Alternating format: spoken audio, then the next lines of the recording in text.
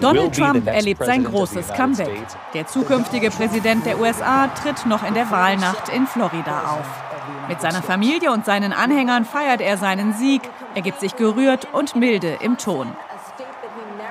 Ich werde regieren nach dem Prinzip, was versprochen wird, wird gehalten.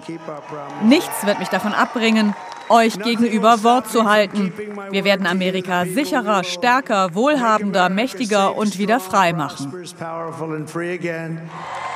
Sie hatten sich so große Hoffnungen gemacht.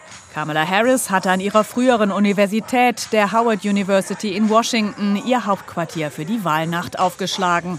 Am Traditionsort für schwarze Studenten waren viele zu Beginn noch elektrisiert. Das ist eine Premiere. Der Gedanke, dass ich vielleicht nur eine halbe Stunde entfernt bin von der Verkündigung der ersten schwarzen Frau als Präsidentin und die ist von meiner Uni, da muss ich einfach dabei sein. Dann überschlagen sich die Ereignisse. Schnell und eindeutig sammelt Trump entscheidende Swing States ein. Die Republikaner gewinnen außerdem die Mehrheit im Senat. Für das Repräsentantenhaus steht das Ergebnis noch aus.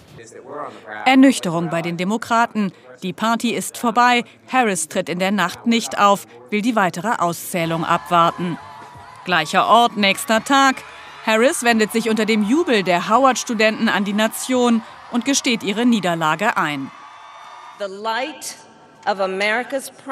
Das Licht von Amerikas Versprechen wird immer hell leuchten, solange wir nicht aufgeben und weiter kämpfen.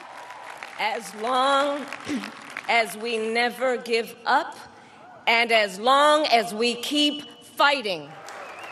Die Börsen reagieren am Morgen mit Kursgewinnen auf Trumps Triumph. Besonders stark schnellt der Kurs der Tesla-Aktien nach oben und macht Trump-Unterstützer Elon Musk für heute um Milliarden reicher. Amerika sortiert sich neu. Präsident Biden hat bereits mit seinem Nachfolger Trump telefoniert und ihm zum Wahlsieg gratuliert.